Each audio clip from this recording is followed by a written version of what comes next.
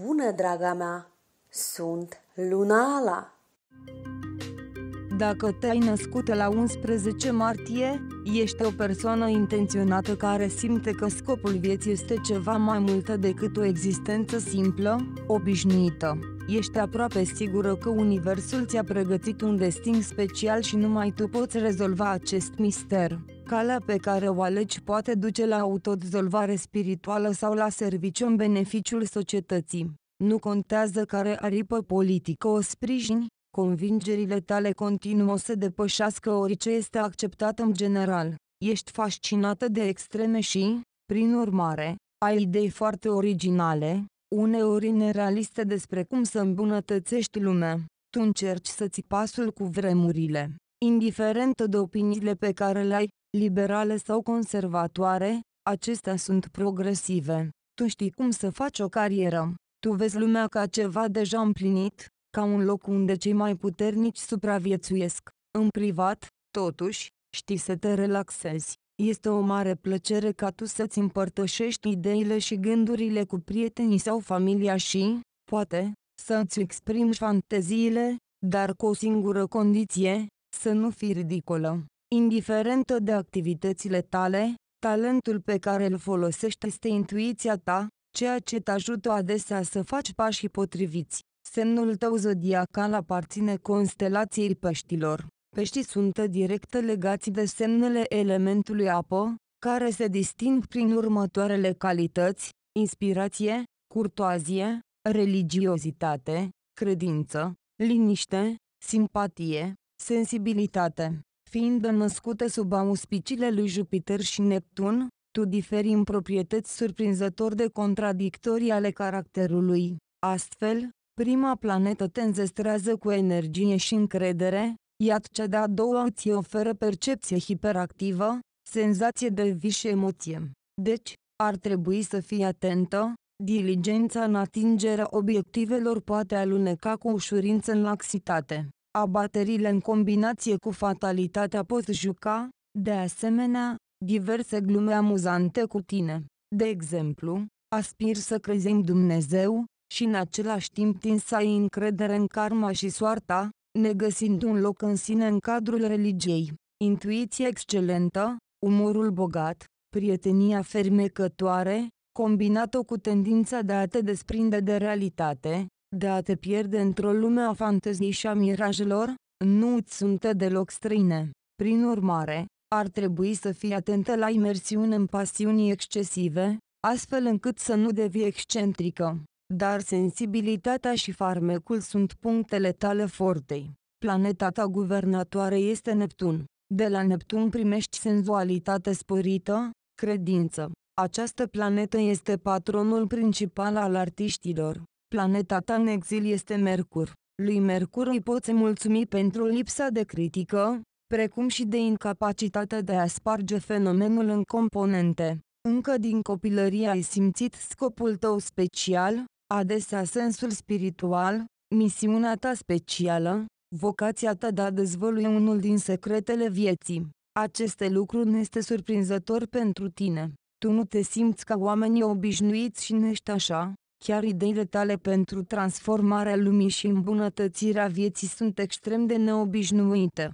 Din păcate, acestea adesea nu sunt viabile datorită idealismului excesiv. Tu iubești toată omenirea, pe care încerci sincer să o faci bine, persiști în atingerea scopurilor care nu sunt complet clare, tu aproape întotdeauna te uiți la această lume dintr-un unghi neobișnuit. Ești de obicei conștientă de faptul că dacă rămâi în urmă, alții te vor depăși. Cu toate acestea, perspectiva neatractivă de a vedea spatele altcuiva în fața ta nu se potrivește cu tine deloc. În același timp, ești gata să intri în jocul adversarului, deoarece împingerea altora cu coatele nu face evident parte din regulile tale. Tu știi că mai devreme sau mai târziu, vei atrage atenția și vei merge mai departe.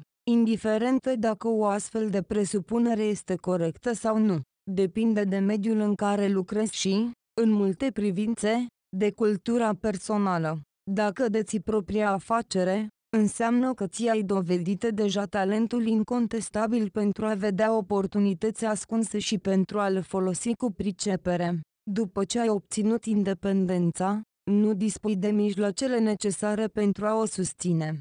Apropo, poți deveni un jucător moderat de noroc, deoarece ești suficientă de curajoasă pentru a-ți asuma riscuri și destul de înțeleaptă pentru a evita greșelile prostești.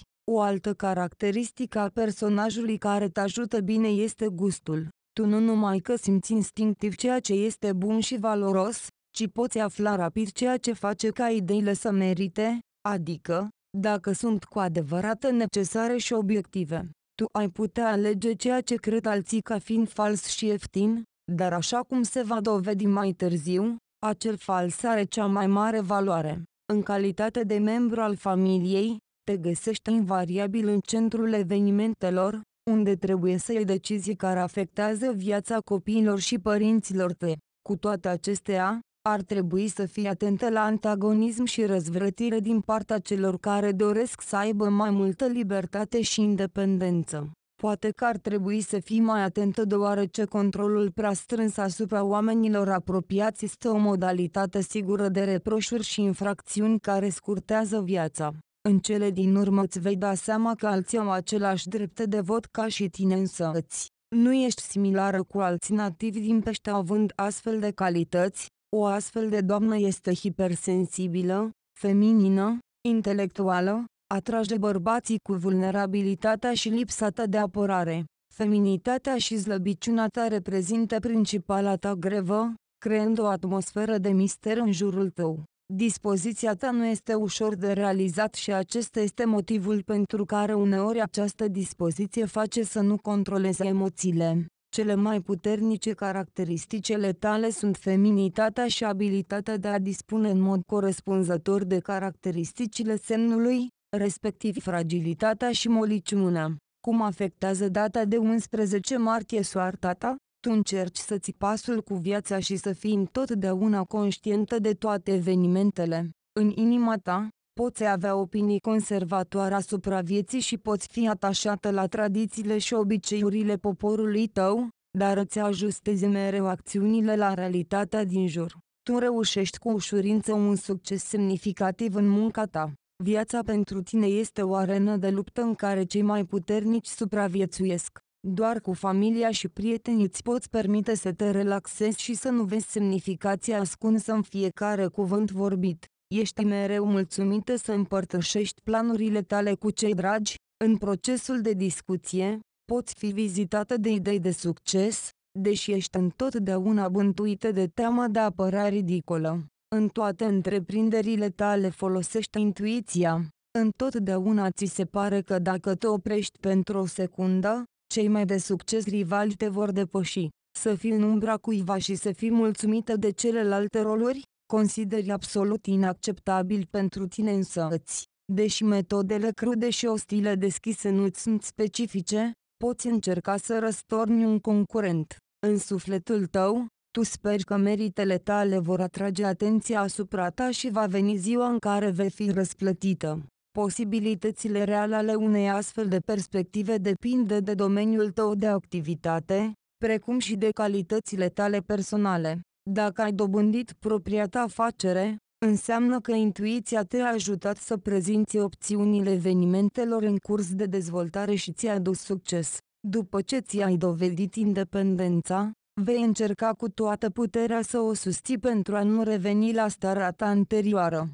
Poți deveni dependentă de jocurile de noroc, deoarece ești destul de disperată pentru a-ți asuma riscuri, dar întotdeauna știi când să te oprești. Ai un bun simț al frumuseții. Tu simți valoarea obiectelor instinctiv, iar perspectivele noilor proiecte sunt determinate dintr-o privire. Uneori, acțiunile tale nu pot fi înțelese de ceilalți și pot părea complet lipsite de sens și numai ulterior se dovedește că aceste lucru a fost absolut logic și justificat. Pretențiile față de sine și capacitatea de a te controla pe sine sunt trăsături distinctive ale tale. În viața ta personală, trebuie adesea să ai decizii cu privire la părinții și copiii tăi. S-ar putea să existe un dezacord cu unii dintre membrii familiei tale, care sunt independenți și neascultători. Tu trebuie să ușurezi puțin presiunea asupra familiei și să le oferi rudelor mai multă libertate pentru a evita scandalurile și situațiile de conflict.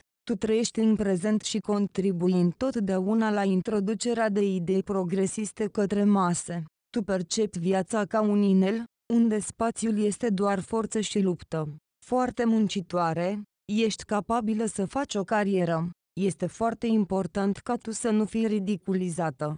Este foarte important să fii luată întotdeauna în serios, chiar și atunci când ești naivă, împărtășindu-ți gândurile și roadele imaginației tale violente. Intuiția ta rareșuează, dragoste și compatibilitate. Într-o relație strânsă, ești senzuală și pasională. Fiind o romantică autentică, te bucuri de ritualurile de curtare și îți place să ai grijă de tine însăți. În anii tinereții, cu siguranță vei fi supraviețuit mai multe decât unui roman, totuși, după ce vei fi găsit sortitul, vei deveni un partener credincios și loial pentru el. Perspective bune pentru crearea unui respect reciproc într-o familie ai curac, scorpion și taur. Acești bărbați sunt cei mai compatibili cu tine, au aceleași opinii cu privire la viața de familie, priorități similare ale vieții. O căsătorie poate avea succes în alianțe cu Fecioara, Balanța și Capricornul, unde șansele sunt de 50 pe 50. În această uniune, imediat, trebuie să se distribuie responsabilitățile și obligațiile, să se accepte libertatea reciprocă. O căsătorie cu perspective proaste este văzută cu celelalte semne precum berbecul, gemenii și leul. De exemplu, în aceste combinații de cupluri există foarte puține perspective pentru o căsnicie fericită, este puțin probabil să vă înțelegeți reciproc, deși totul este posibil, neștiind nici ascendentul tău și nici lista datorilor karmice reciproce, locuri de muncă și carieră. Tu înțelegi nevoia de luptă și de putere. Nu îți place să stai în coadă, dar nu dorești întotdeauna să lupți, ceea ce este natural pentru o fire contemplativă care iubește pacea. Cel mai adesea, tu încerci să aștepți până când rivalii te depășesc, iar apoi, cu ajutorul intuiției, după ce aștepți momentul potrivit, iei cu fermitate inițiativa.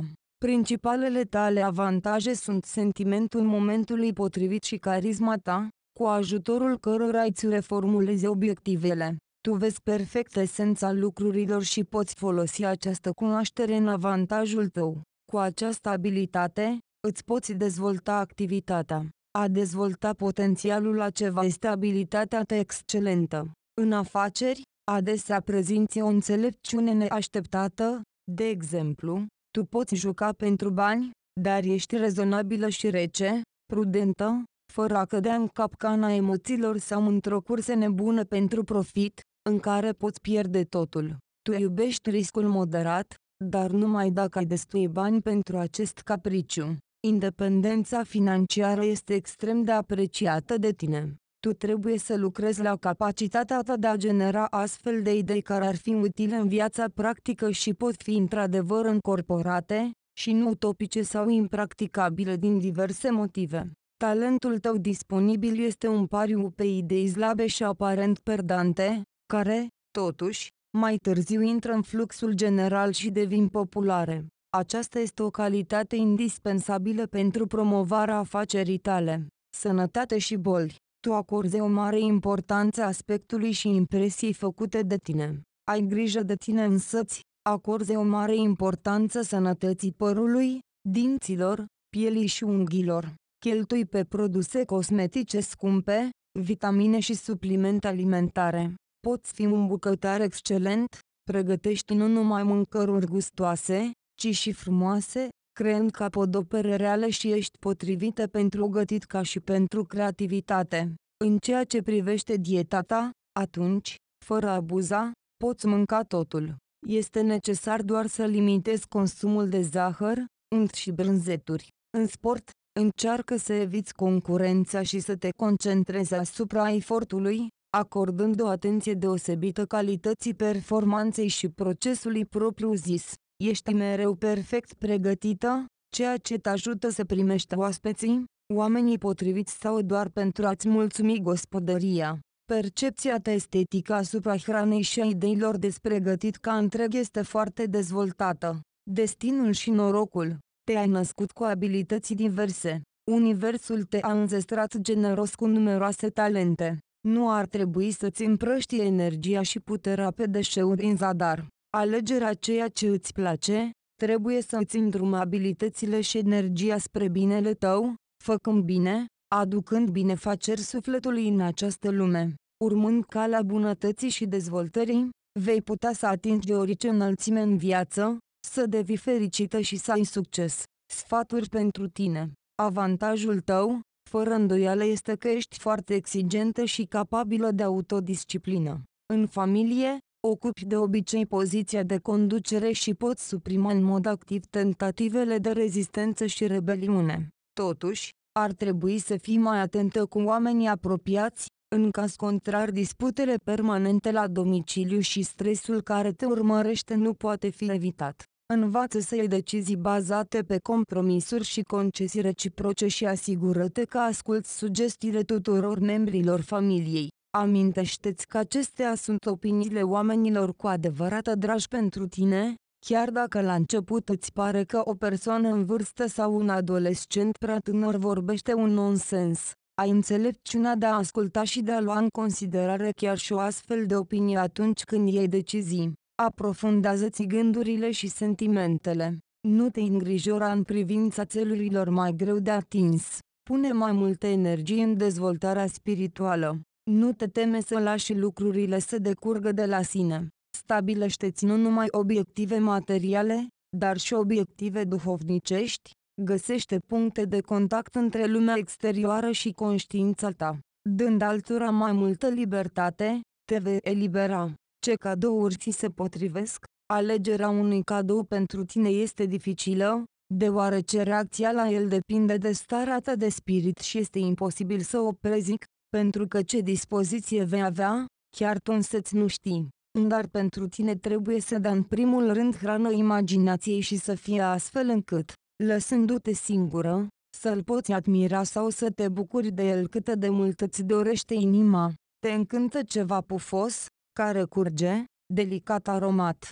Vei accepta cu recunoștință profundă o lucrare de artă, dar mai întâi cel care îți face darul este bine să afle atașamentele tale pentru a nu lovi clopotul greșit. Tema ta principală este un mister, trebuie să fie onorată cu daruri în daruri. Darul, înfășurat în tonuri de violet iridiscent și liliac, cu hârtia atârnată aproape de podea, împreună cu orhidee delicate din fire de argint, vor fi primite de tine cu uimire și încântare. Pe cutie merită făcută o inscripție sentimentală în numele dăruiri, de preferință în versuri.